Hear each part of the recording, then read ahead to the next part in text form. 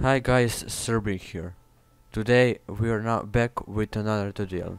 And for this tutorial I will show you uh, how to make G Major 5 on, on Vegas Pro 17 or any other versions.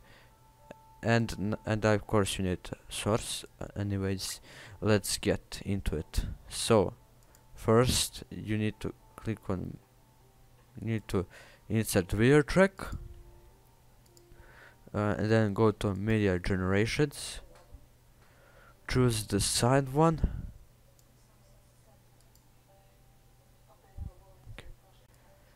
Uh, go to go here. Select compositing mode and choose the difference. And yeah we're now done with the visuals so and now for the pitches. Can you can either choose the pro one or the this one and you can go to classic or whatever. I'm gonna here and the pitches are 0 plus 4 and uh, we're done we're done now. Let's preview it